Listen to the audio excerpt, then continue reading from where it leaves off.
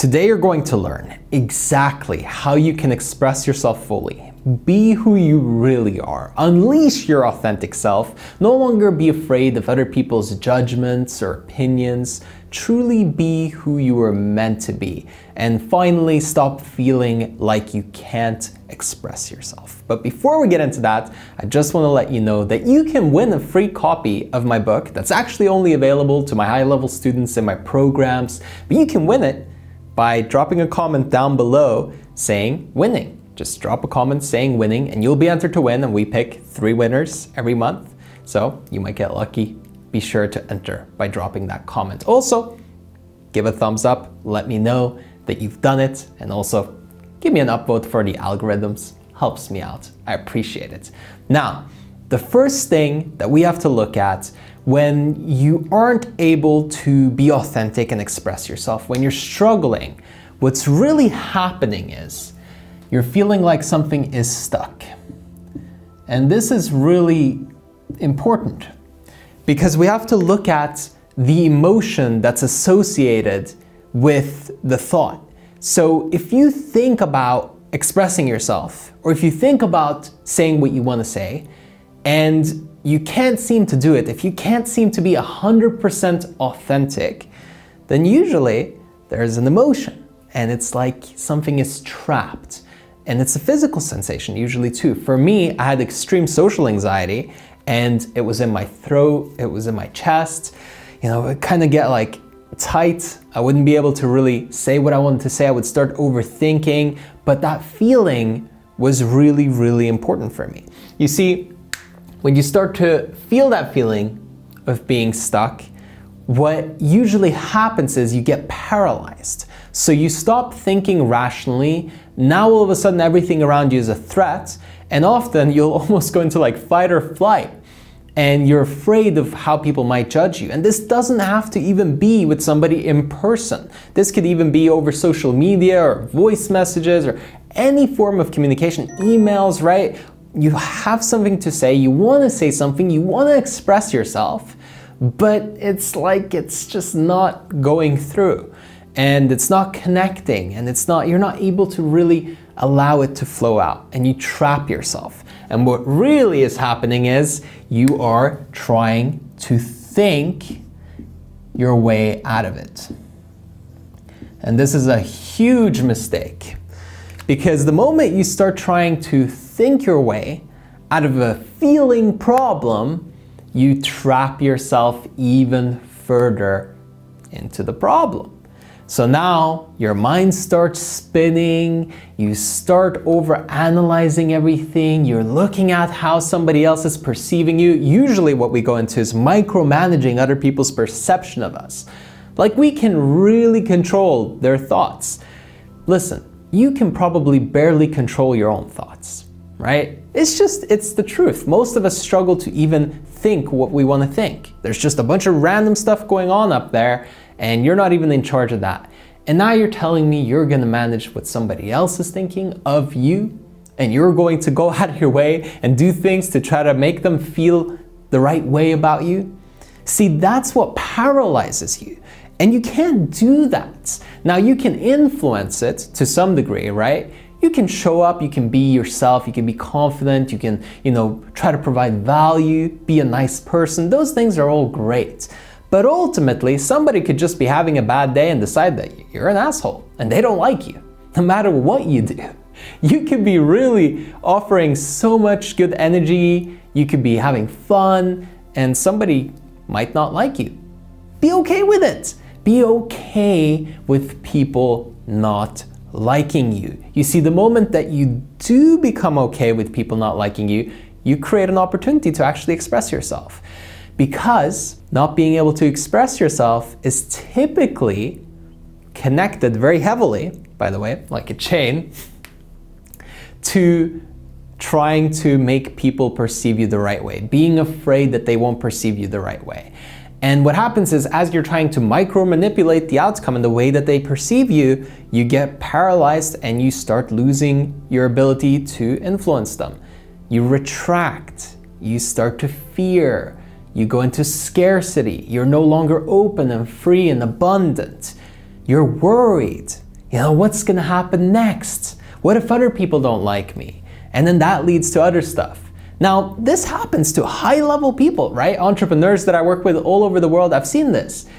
I've seen this happen to somebody who is just starting out in their career. They start to, you know, put out content online or do something like that and then it gets scary. But I've also seen it happen to high-level CEOs, people that are running multi-eight-figure businesses and then all of a sudden they just get trapped and caught up in their minds.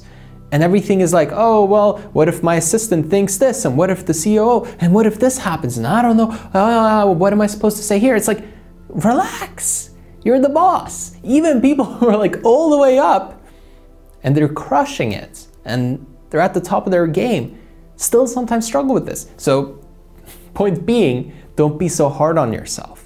It's okay to not be able to express yourself fully all the time. It's great that you're even working on that skill and getting better and improving it. So give yourself a little bit of a pat on the shoulder for that in and of itself. It's really important. A little bit of self love is going to go a long way, it's going to help you out. So, how would you act or behave if there was no judgment? If there was no judgment, if you had no fear of judgment, how would you show up? What would you do differently? What would change about you? Be honest with yourself. Would you still try to make everybody like you, if there was no judgment, if you could just do whatever you wanted to and get away with it, you'd probably say some things you might be afraid to say right now, maybe to some people that are close to you. I know I did, and it was important because if you don't express yourself, you're hurting yourself, but you're also hurting them. And here's why. Most people don't realize that in one way, it's unethical to hold back.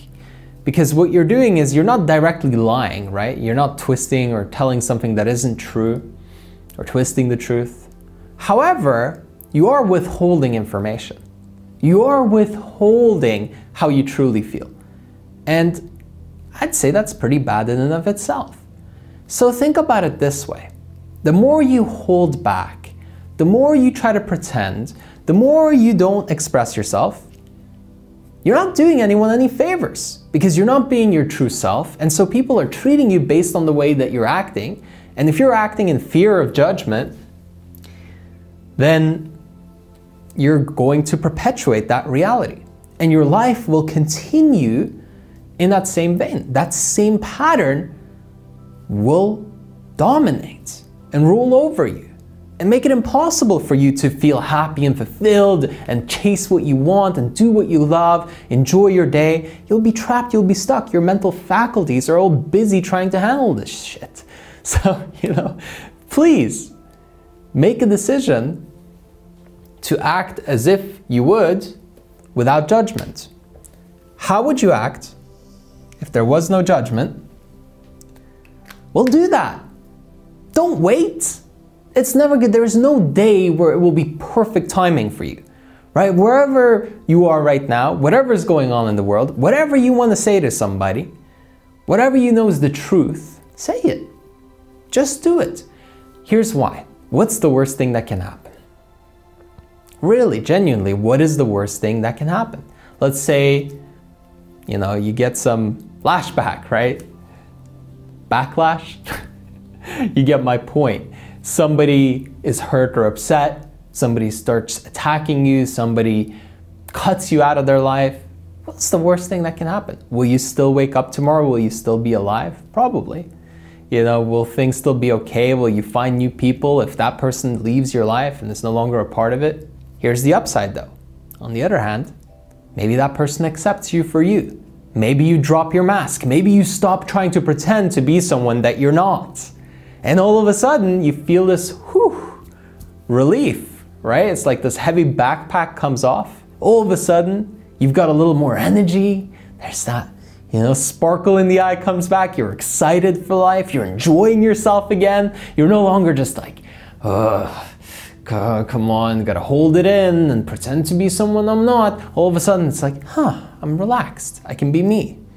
Hmm, I don't have to pretend anymore. How awesome is that? How great is it to be able to really be who you are? and no longer hide and pretend and try to coat and mask and cover up. It's a huge relief. It's worth it. The trade off is worth it. Look at the risk, look at the potential gain. The risk is relatively low, the gain, the potential for gain, is very, very high. So, chances are, the more you express yourself, the more you'll just have an upwards growth curve like this. That's it. The more you express yourself, the more you are who you are, the more you perpetuate yourself being authentic, the better you become, the more expressive you are. It's self perpetuating and it continues, continues, continues, and it never stops. I've been doing this. Man, I used to have such severe social anxiety, right? I would hold back and try to, I was so careful. Any word that came out of my mouth, I would have had to think about it 400 times in my head before I said it. And then I just started saying how I felt and being honest and being authentic. And yeah, sure, some people left. And sure, I pissed some people off. But it was worth it. I'm glad I pissed those people off. It's a great trade off to become my authentic self. Do you think it would be worth it to become your authentic self if you upset someone? It's worth it. It's worth the price tag because the upside is so massive. Maybe not right away. Maybe in the beginning you'll say, oh, well, it wasn't worth it because this person upset and da da da. But in the long run, don't look at what happens the next day. Look at what happens in the next three years of your life. That's where I want your mind, not just what happens tomorrow.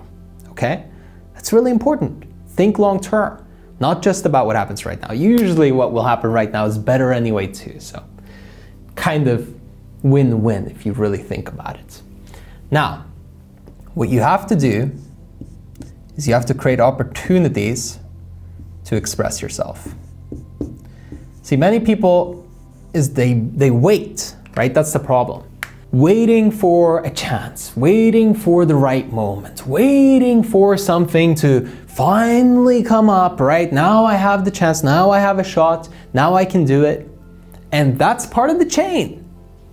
Because you're trapping yourself by saying, one day, once this happens, then I can finally, no, today, call somebody you haven't talked to in a while. Tell them how you feel. Be yourself, be honest.